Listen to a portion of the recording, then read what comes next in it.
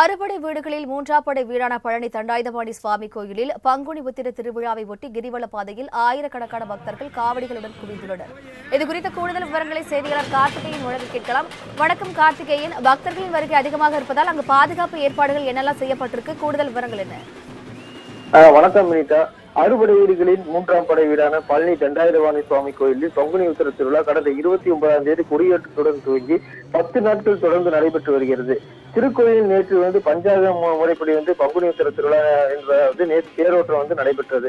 தொடர்ந்து ஆயிரக்கணக்கான பக்தர்கள் தேரை வந்து வடம் பிடித்து இழுத்து அரோகரா கோஷம் தரிசனம் செய்தனர். நேற்று காலை பத்து முப்பது மணி முதல் இன்று காலை வந்து பத்து முப்பது வரை வந்து உத்தர நட்சத்திரம் வருவதா வந்து இன்று பங்குனி உத்தரம் என்று நினைத்து ஆயிரக்கணக்கான பக்தர்கள் வந்து கிரிவல பாதையில் ஆயிரக்கணக்கான காவடி எடுத்து அலகு குத்தியும் தீர்த்த காவடி எடுத்தும் கிரிவல பாதையில் வந்து குவிந்துள்ளனர்.